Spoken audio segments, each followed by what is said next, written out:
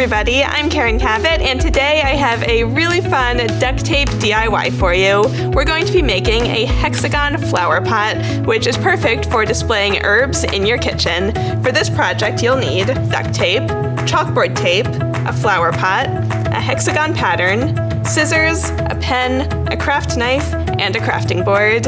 So before we started, I painted my flower pot this dark bronze color, but of course you can paint yours any color that you like.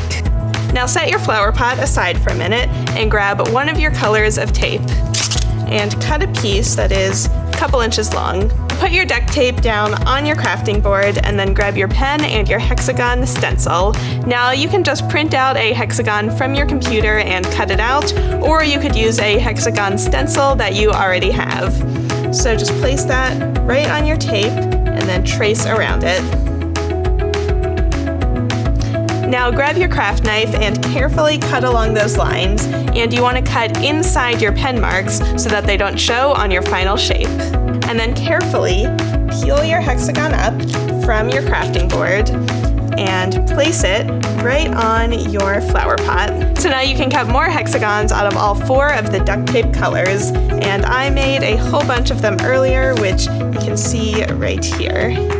So now you can just continue peeling up your hexagons and using them to create a honeycomb shape. Now, if one of the hexagons overlaps the bottom of your flower pot, you can just cut little cut right here in the center and then fold the extra tape underneath, kind of folding it on top of itself like that. And then if a hexagon is going to overlap this top rim of the flower pot, you can turn it upside down and very carefully use your craft knife to just cut off the excess. Just continue adding hexagons until you've covered the entire bottom of the flower pot. And if they don't quite match up in the back to make a continuous pattern, that's okay. You can just kind of face that towards the wall, and I think the front looks really cool. So now that our flower pot is covered in hexagons, I want to add a little label so that I can remember what I've planted. Grab your chalkboard tape and cut a small piece that is however big you want your label to be. I think that looks pretty good. So now grab your tape and cut a piece that is a little bit bigger, lay that down on the crafting board, and then unpeel the backing from the chalkboard tape. And you can just press it down right in the corner so that there is a little bit of a border. And now use your craft knife to just cut it out, leaving a small border around the entire thing.